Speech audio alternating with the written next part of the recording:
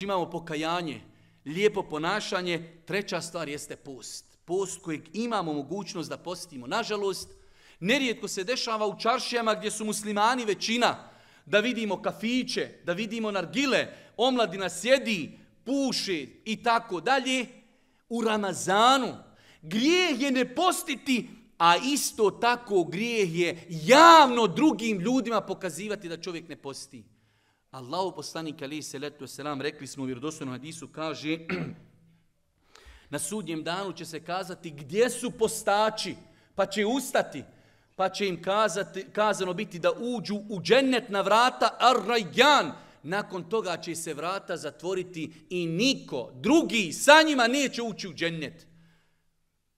Pa prije nego što nastupi Ramazan, donesite odluku svi mi koji smo punoljetni, zdravi, mladi, nismo bolesni, ne putujemo, donesite čvrstu odluku da ćemo postiti ako Bog da cijeli mjesec Ramazan.